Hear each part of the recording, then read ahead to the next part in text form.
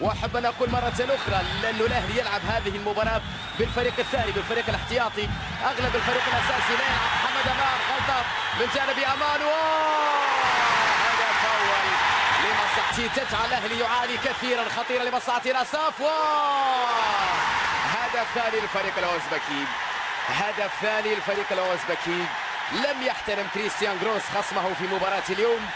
اللاعبين قدموا الكثير من الهدايا والأخطاء الفردية الواضحة. العشوائية الكبيرة شوط ثاني لم يتماسك الأهلي. هد قبل هدفا أول واصل اخطائه في وسط الملعب وفي الدفاع. إبعاد المدرب السويسري شوف هذه اللقطة الأخيرة. شوارع في جهة محمد أمان شوارع بأتم معنى الكلمة. أخطاء دفاعية فادحة أخطاء فردية فادحة. فريق يلعب بدون بدون هوية واضحة.